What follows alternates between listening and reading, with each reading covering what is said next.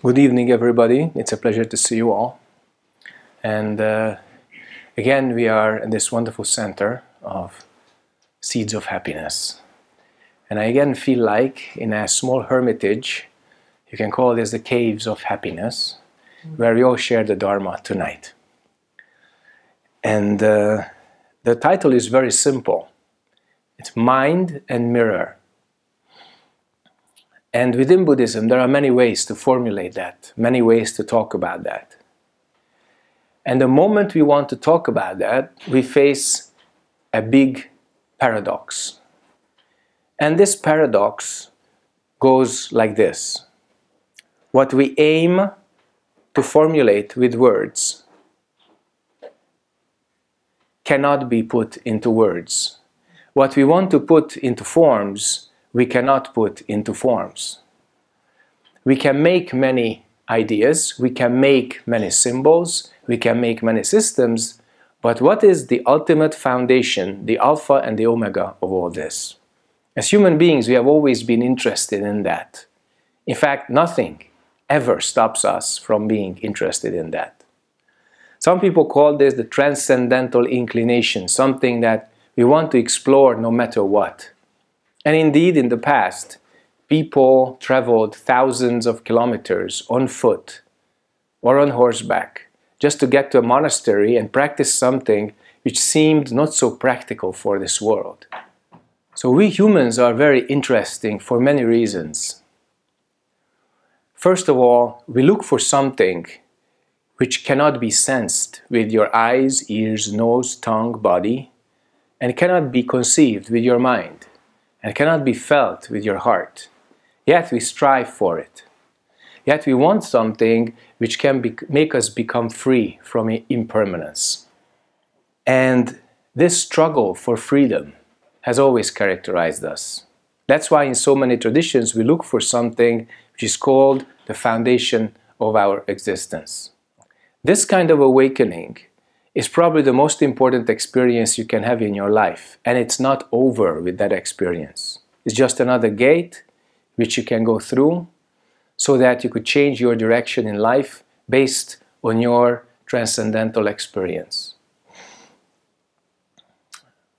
In Asian wisdom, there's a saying if you read one book, you have to take 10,000 steps. Here in the West, we changed that axiom into something like this you take just one step and you can read 10,000 books. What do we do with all that knowledge? In the West, since we mistranslated logos as the word, we believe that the word or knowledge precedes everything. But nature begs to differ. Nature functions differently. We humans believe that our knowledge precedes everything, and that's how creation came about. And in that sense, we never corrected this mistake. We always take knowledge first in the West and experience second. In Asia, it's still different. Although in the last couple of decades they imported most of our lifestyle and ways of thinking, traditionally in Taoism and Buddhism, experience comes first. Then comes knowledge or articulation. When the Buddha attained enlightenment, he saw, he perceived that the experience is so profound that for him it seemed impossible to put it into words. So that's why, at first, he decided not to teach. And then, as legend has it, a supreme god, Brahma, from the highest heaven came and requested that the Buddha would teach because there are people on earth whose eyes are covered only by a little dust.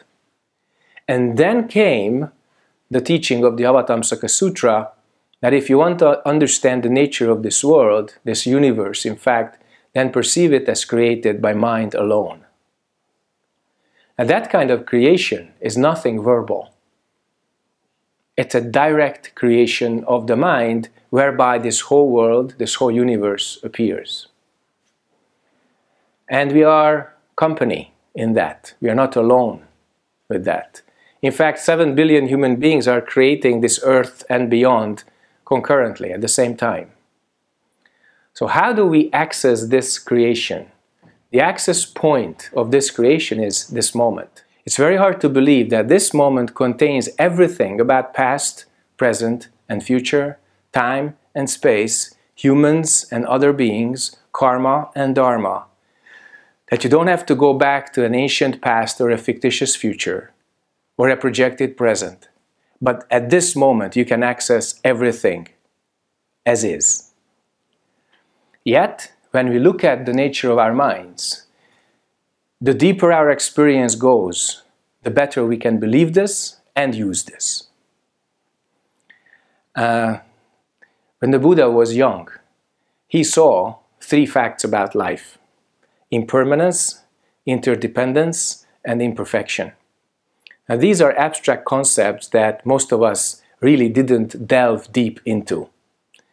But what we do experience is emotional frustration, uh, insufficient thinking or too much thinking, resources that we don't have, unnecessary things that we do have, unresolved relationships, uncertain jobs, all kinds of phenomena that always propel us to go further. We can't stop. Why? Because time doesn't stop. The way we are in this body, human beings, we experience time in a linear sequence, one dimensional time. It's one of the most brutal facts of life. As long as we are in this body, we have a linear experience of time. We have a three dimensional experience of space, again, due to the fact that we are in this body with these senses, with this brain. And in space, you can turn back. You can even turn back in 2D. You can make somersaults in 3D, but you cannot turn back in 1D. And that's why you cannot reverse time. So once we are pushed by these conditions and circumstances, then we always ask, what is at the root of all this? How did this appear? How does all this disappear if it does?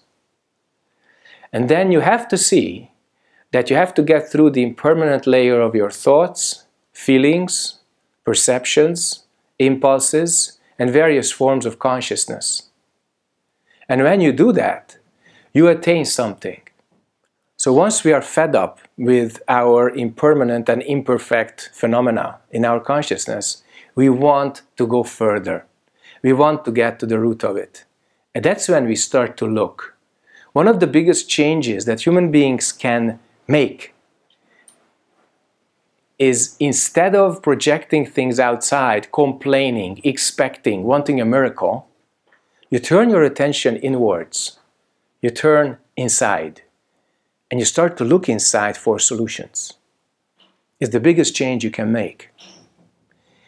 And the funny thing about that is that this is the only way you attain true freedom. Freedom has many definitions. But the spiritual freedom I'm talking about begins with insight into cause and effect. How your mind operates, how the world operates, whether the law that governs you and another human being is the same law or different, whether the law governing the world and your soul is the same or different. And when you look inside, you find things that you have never found before. And the moment you look, you find very, very interesting inconsistencies. Your thoughts go one way, your emotions go the other way, your speech says something, and your actions are also different. We call it the inconsistency or incongruity of the human personality. And yet, without that, we wouldn't be going forward. We wouldn't look for our way. We wouldn't look for the origin of our mind. So these inconsistencies and opposites, they are like the driving forces, the polarity between plus and minus, have and have not, happiness and unhappiness, suffering and enlightenment. These all act like in an electric engine, the plus and the minus, which spins the whole thing forward. If we didn't have these opposites, if we were totally peaceful, totally logical, totally loving and compassionate, we wouldn't be here we wouldn't have taken this body, we wouldn't be on this earth, we wouldn't have fellow human beings with the same traits basically as us. So look at this. Once you realize the true situation we have, you stop complaining. You stop asking unproductive questions. You really look at life and yourself as we are, trying to find a governing principle. And once you look inside, you ask this what is this? Where do my thoughts come from? What is the source? Where do my emotions come from? What is the source? Where do my impulses come from? What's the source? So, in short, the question, what is this, is directed inwards. And if you keep it, you attain something very interesting. You already know that if something appears and disappears, then it's not what we are looking for. So, what is it that sees impermanence? What is it that sees imperfection? What is it that sees interdependence? We call that a mind which is clear like space, clear like a mirror. But it's not a mirror like in your bathroom. It doesn't have glass or paint. Also, it's not like three dimensional space. We have to use something imaginative, something circumspect, something indirect to describe something which I already said we cannot describe. Why? Because that's what describes. We cannot see it because that's what sees. We cannot hear it because that's what hears. And we cannot think it because that's what thinks. So, how do you get through these paradoxes? One of the toughest experience is that no matter how clever you are, you do not attain the source of your thinking. No matter how emotionally intelligent you are, just by form, formulating emotions, you do not attain the source of emotions. So, what do you need to do? We call that stop the movement or stop the creation and annihilation cycle. And in Zen, we demonstrate it with this. When you hear this sound, your mind was before thinking. Just da. Also before feelings, also before the notion of past, present, and future. Many people get, get hooked on the hit and they begin to like it. That's Zen. No, that's not Zen. It's a way to demonstrate one moment. But Zen is us. Zen is our minds. Zen is the way the way we use to get rid of our illusions, our attachments, our false identifications, then get down to the very simple and very clear root of our existence, which is a mind which is clear like space, clear like a mirror. I know, easier said than done. But once you take the first step, you only have to take one more step at a time, and another step, and another step, and not lose the question, not lose the direction. I want to give you a story about uh, the origin of this question. Uh, there was a great monk who later became the sixth patriarch. And uh, he was the sixth generation after Bodhidharma, who took Buddhism to China. And Bodhidharma lived a thousand years after the Buddha. He is not a well known figure, which is a surprise. You would only find four Dharma speeches. Uh, it's translated into English beautifully, and it's really like fire. One of them is actually called Fire Sermon. It's uh, very, very direct. He's not mincing his words, he's not wasting his breath He's putting everything directly on the table. And uh, due to his great work, uh, we have Zen as we know it, because by the time he went to China, the Buddhist sutras had been there for over 200 years, maybe even three. And it was a slow merge with Taoism. And the way Taoism and Buddhism merged can be seen as a result. This is Zen. Originally, the name in India was jhana, the jhana school of meditation, which literally meant absorption, becoming one, becoming clear, or attaining the true meaning, all of this together. So becoming one, becoming clear, attaining the true meaning or essence. When it went to China, the word became channa.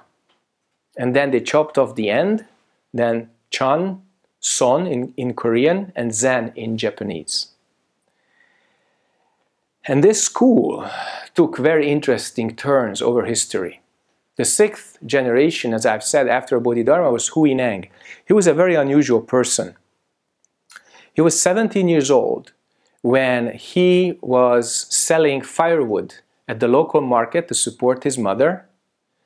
And he was a very simple boy, illiterate. But he heard a monk reciting two lines of the Diamond Sutra on the marketplace, which said, Don't attach to anything which arises in the mind. The one who perceives like this becomes Buddha. He heard that, boom, woke up, got enlightenment. So then he asked this reciting monk who was actually begging on the market, it was standard practice. You recite teaching and people support you. That's how it worked for centuries. So he asked the monk, Elder brother, where is the monastery where you practice? Then he went to the fifth patriarch's temple and he became an apprentice in Korean Hengja. So he worked for the temple and he was uh, proving that he would be suitable for ordination. But even before that, there was a contest within the monastery. The fifth patriarch said, Everybody must demonstrate their knowledge of the Dharma so that I could appoint my successor. And the head monk, Shen Xiu, was considered the most erudite, the most experienced, the most eloquent of all. So Shen Xiu wrote a poem on the wall of the monastery, and he says, The body is Bodhi tree, the mind is the stand of a clear mirror. Always clean, clean, clean, never let dust settle. So everybody looked at that poem and says, Wonderful! I am sure, they said, that Shen Xiu will become the sixth patriarch. So Hui Neng, who was not Hui Neng at that time, he was just No Hengja. His Dharma name was Hui Neng later. Uh, he asked uh, a friend of his, please read this for me. I really want to know what it means.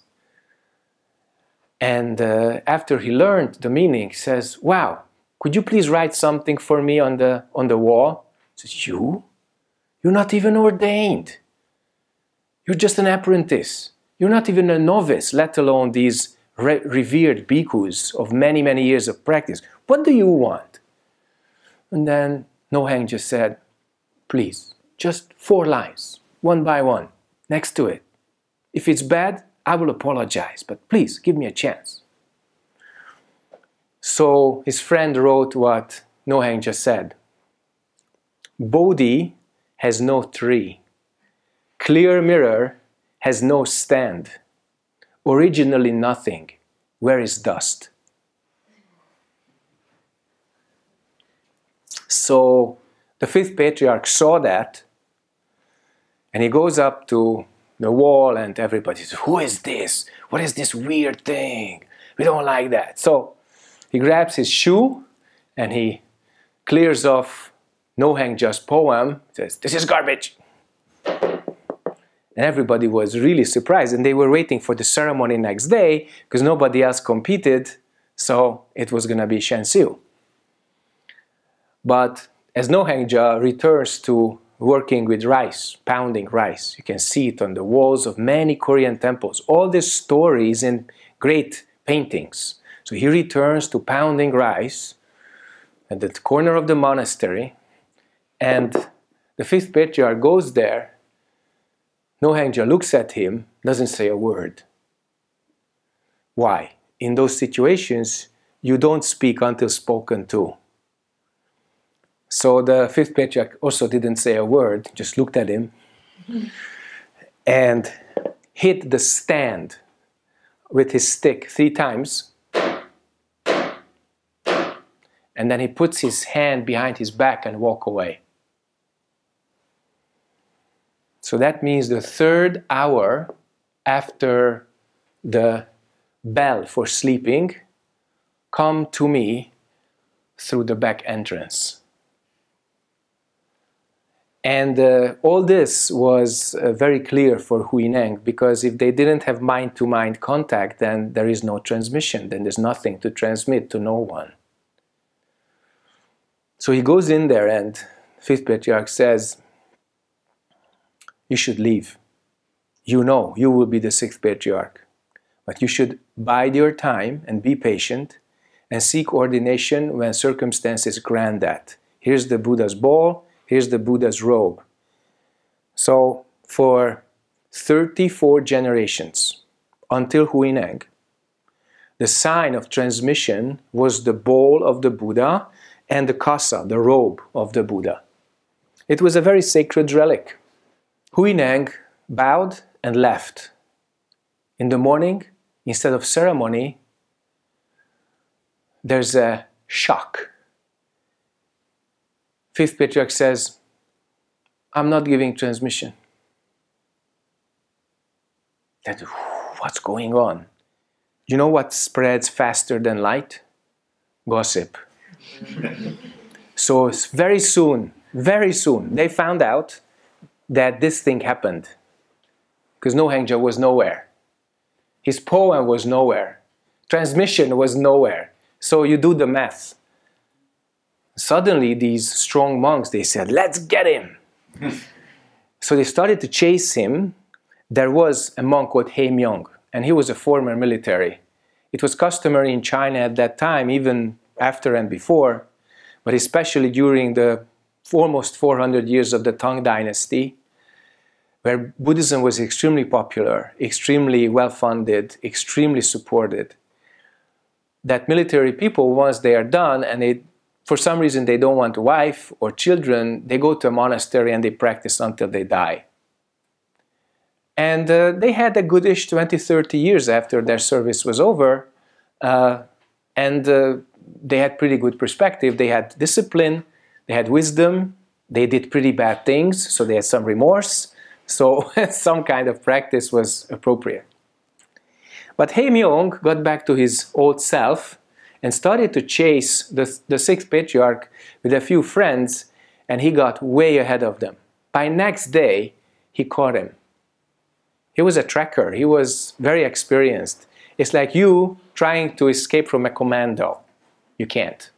So the sixth patriarch, who was not yet the sixth patriarch, just an escapee running for his life, he saw that He Myung is catching up with him.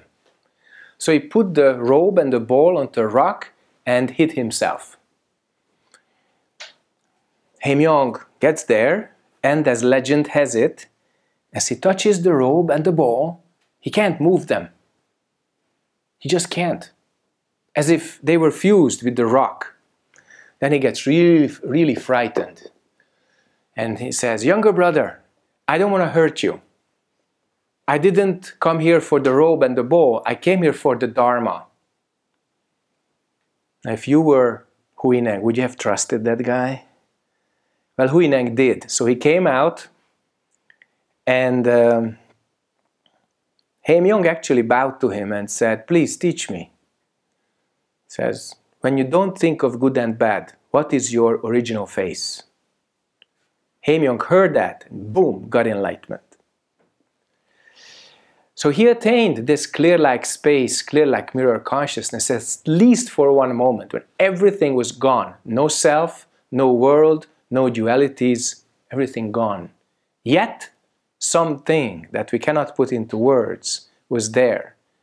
For lack of a better term, the Buddha called this vidya, or seeing, or perceiving. From the same word comes videre, you all know that, and video. Then when He Myung went through that experience, he said, let me become your student. And watch this. Sixth Patriarch says, no, no, no. I really cannot be your teacher. If you have a mind like this, then we are both the students of the fifth patriarch. It was amazing. He didn't annex him, he didn't occupy him, he didn't conquer him just because the person became vulnerable. It actually elevated him seemingly to the same rank as him. We call it emancipation. And then they went on their way, and the man was happy not feeling deprived. But actually, he lost. He lost a lot of things, which we have to be prepared on our path.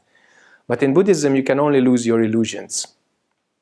Even the dearest illusion, you lose. And even the toughest piece of reality stays with you. So the origin of our hwadu or our question is this sentence. When you don't think of good and bad, what is your original face? So it became shorter and shorter and shorter and shorter. And the question now goes just, what is this? And that's what we use to look inside. We have other meditation techniques as well, like perceiving the sounds or reciting a mantra. And all these three we will be experiencing and practicing tomorrow, just a couple of floors above. Why? If we don't do it, it's not worth much. Everybody is listening very intelligently and compassionately tonight. That's wonderful. Well, what, what happens tomorrow? You certainly don't sit for another Dharma talk. You're not such a masochist. So, what do you do? What kind of steps do you make? So, as simple as it is, this kind of clear mirror consciousness, which has no I, no ego, no dualities, no past, no present, no future, to that extent, our habits control it or seem to control it. We love our habits. In fact, these habits and the energy, the habit force that they contain, that's what makes us feel alive. Imagine that you take all the habit force out. No habits, but also no energy. That's the way it seems to your logic. But that's not the way it works. In fact, the more you lose your habits, the more energy appears. It's like splitting an atom. The more the atom loses itself, the more energy appears. So you sit in, in meditation, sometimes you feel direct heat. That's just your chi, you know, boiling a little bit. But that's not exactly what I'm talking about. What I'm talking about is your mind's energy, the potential to recreate yourself, to reform your life, to be the human being you truly aspire to be, that all comes from this energy released from your habits. Now look at your most critical moments in life. The suffering that you had to go through so many times. What did that do to you? It forced you to change. It forced you to release energy. It forced you to change your habits. It forced you to lose your self image. How about doing that without the suffering? Just with your own correct motivation. Perceiving how this life actually is, how this world operates, how we operate as human beings, and use your best sense to have a path, to have a strategy, to have something more meaningful and more transcendental than just living for the senses. That's our potential. We call that Buddha nature, or in this place you would call it bodhicitta. But it doesn't matter what you call it. The question is do you recognize it? Do you use it?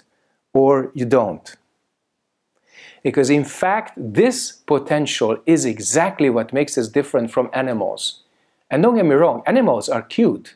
I've just seen a wonderful little dog, cutest thing on earth.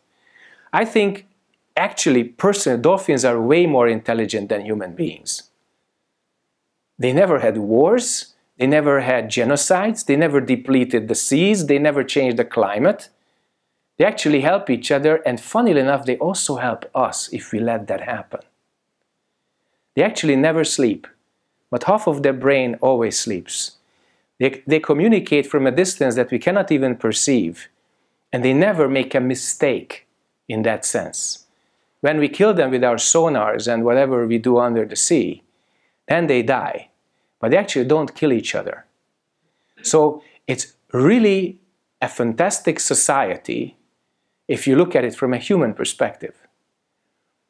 But they don't look at it from a human perspective because they can't.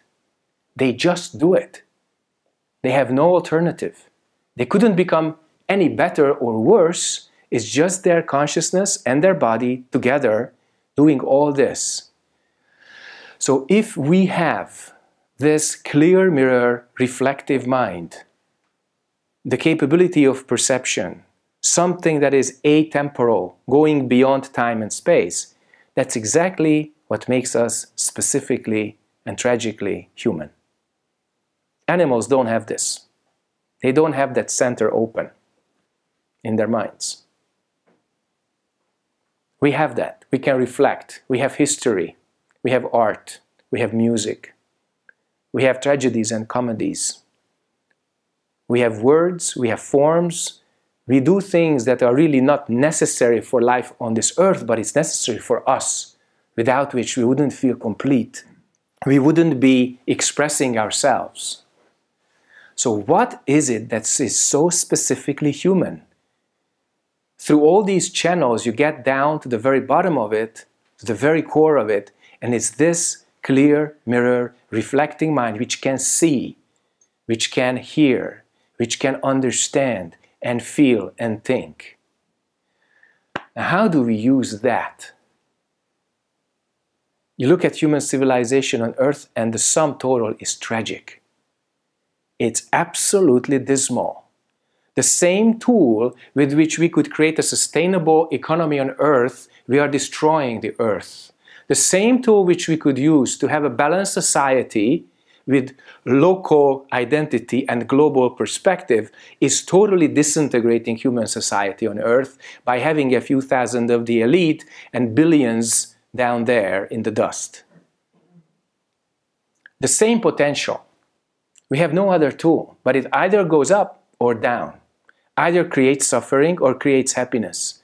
Like I said in the introductory, we do not have a choice over time. We are changing. And if we put a correct direction to this change, then we can go to the way of awakening and helping each other, or darkening and killing each other. It's our choice. But we will go through it anyway. If you look at your own karma, it's not really predictable what kind of food you will eat next week, next month, next year. Most likely we will have food to eat. But as humanity, it's different. It's very predictable how much food we consume every month as human beings. It's measured, it's statistically coded, we know it. Also, we know how much this, this earth can supply on land, on sea, and from the air. So, with this knowledge of cause and effect, what can we possibly do? And the answer is not much. There are various groups in society that don't listen to each other and don't genuinely connect to each other. And one example is climate change. Scientists have been conclusive about this since the mid 70s. Since the mid 70s, the elite understood that there is climate change which is reversible, but it's very, very hard work. And until the first decade after the year 2000, there was not much done. Even now, there's not much done, and more than a quarter of a century passed. What were we waiting for? And the answer is we were waiting for the suffering that cannot be avoided. So, how many tornadoes and hurricanes and landslides and earthquakes and all this and tsunamis do we need to understand that we need to change something? And the answer is we may not have had enough as a species. We may have to experience more. So please decide what you do with your own karma, what kind of direction you take with your life, and how you use this ultimate tool of clear mirror consciousness your true mind, your true nature, which is clear like space, clear like a mirror. I'm giving you real world examples to connect these two the seemingly abstract and philosophical, and the causative and actual. In fact, they are not operating in two different realms or under two different sets of laws. It's the same world, it's the same law. And this law in Sanskrit is called Dharma. That's why we study it. Dharma means the actual rules of operation, how we function as human beings with our thoughts, feelings, perceptions, impulses, consciousness. and how this world functions with the five elements of fire, metal, wood, earth, and water. So, if we use our minds correctly, we live a correct life. If we do not use our minds correctly, we live an incorrect life. And that you can see for yourself. Nobody has to judge from the outside. And when you see it in yourself, then you see cause and effect, then you can take responsibility. And like I've said, the only way to true human freedom is taking responsibility because then you say, it's my job, my action, my speech, my emotions, my words. I've done that. And when you do that, then slowly, slowly, step by step, you attain the freedom of choice. That's what we want. We want free choice. But if we don't look inside and exercise that inside, we will never have it because nothing and no one will give you this free choice from the outside. You have to attain it inside first.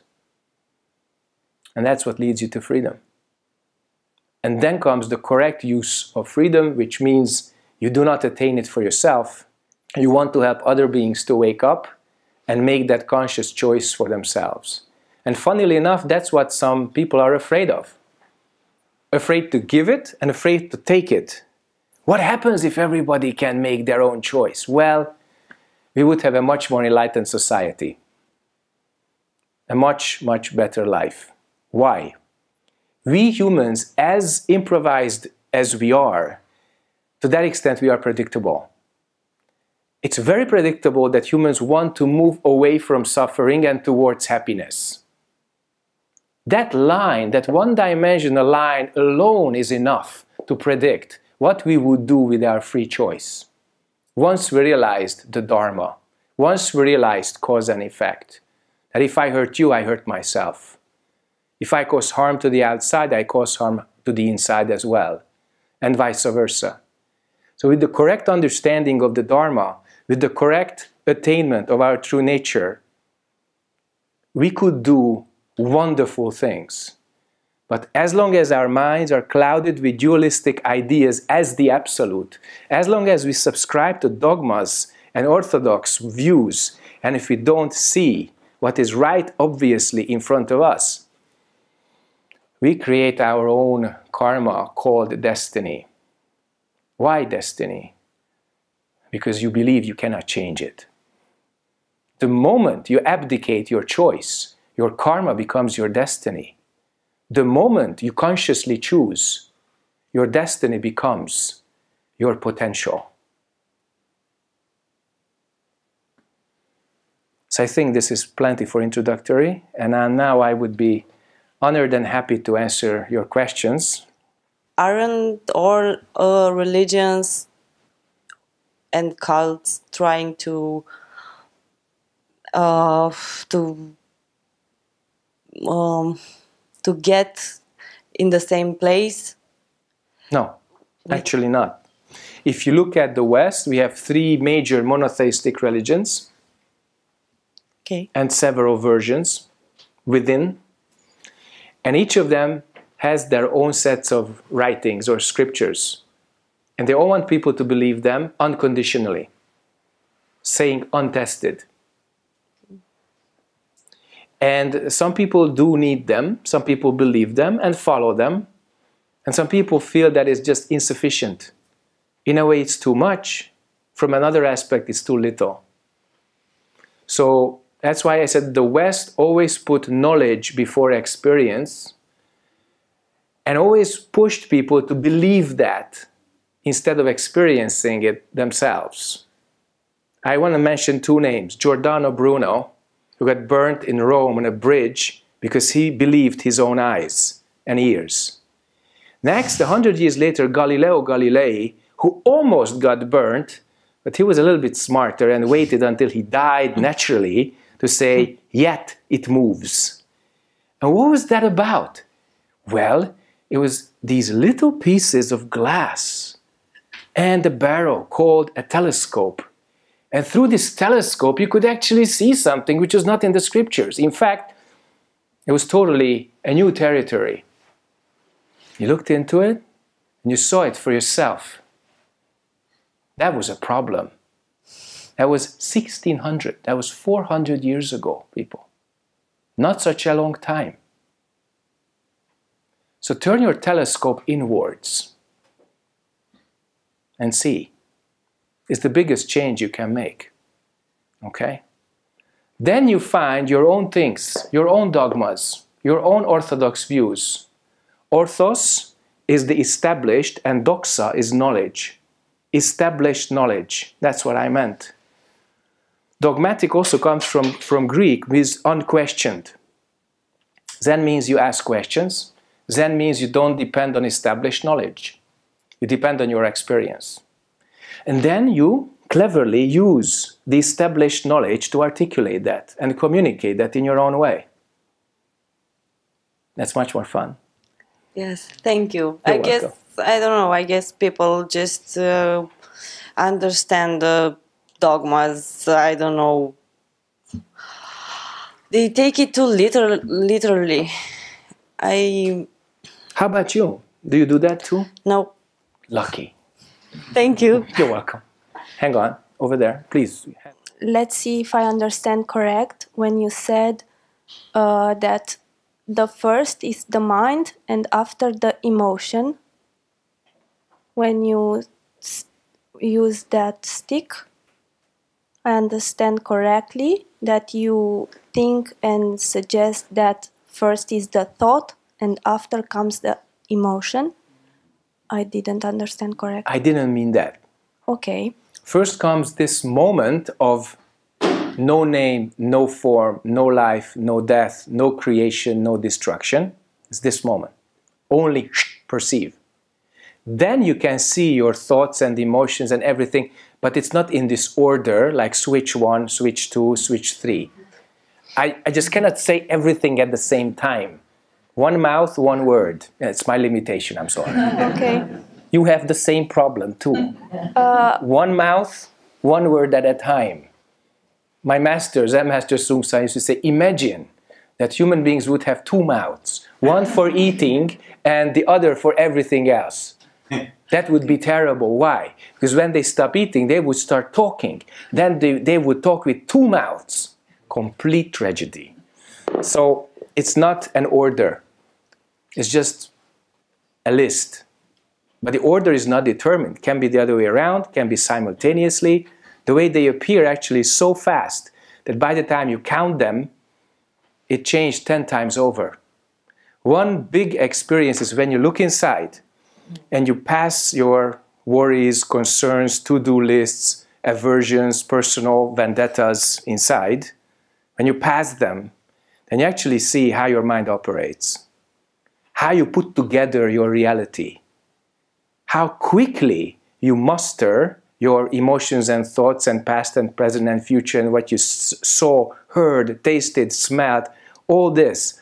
It's really like a bunch of sparks in your neural system, you know?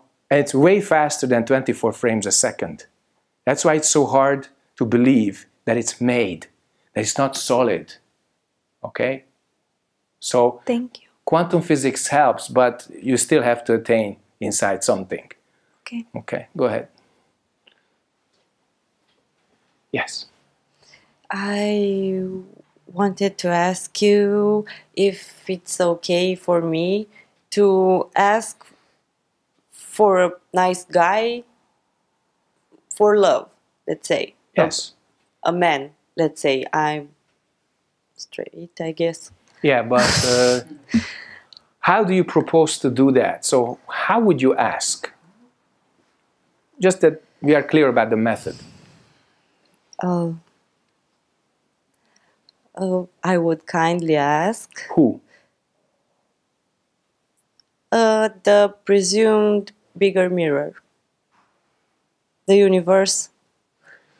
Okay, universe, let's stay with that. It's kind of a unbreakable concept. Yes, the universe. The universe. And you would ask the universe for a nice guy. Yes. Um, have you done that before? Yes.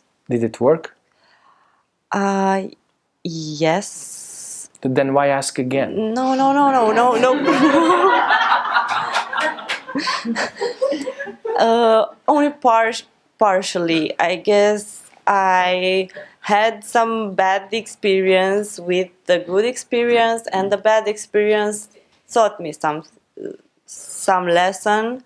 I guess I had to to learn, and the guy was nice, but not, not that nice. I don't Okay. know. so I have just uh, one piece of advice. Look inside and make yourself more suitable for attracting this nice guy. So if you mm-hmm. change yourself, then the guy also changes. But if you have the same vibes, you get the same guys. Thanks. True? Yes, it's true. So if you change yourself, you change your partner as well because your attraction field works differently. That's about it. Thank you. You're welcome. Next question.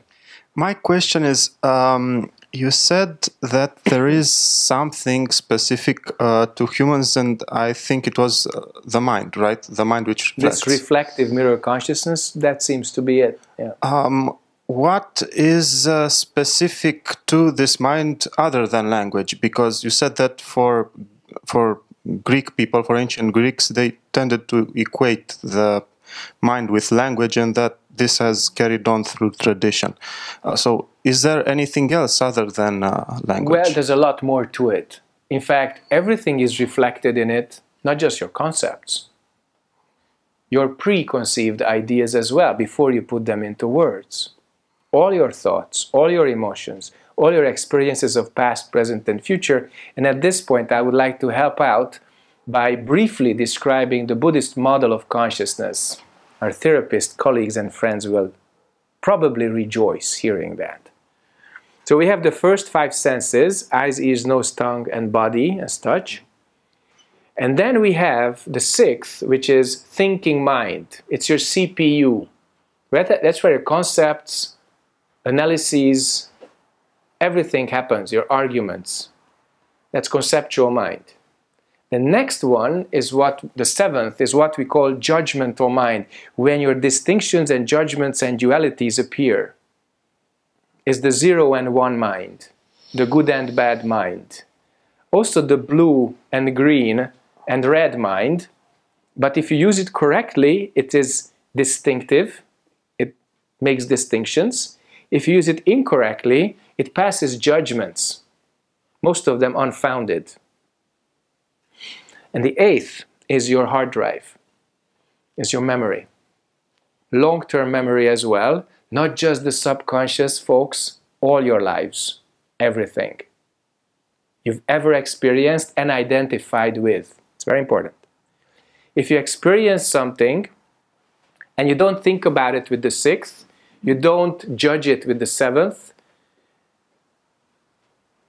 there's no identification and it leaves the eighth, doesn't become long term memory. In fact, if you reverse the process, you remove the identification, remove the judgment, remove the active cognitive process from it. In other words, you take the energy out of it, the trauma can disappear. It can. It will be there as an imprint in the memory without the traumatic uh, experience.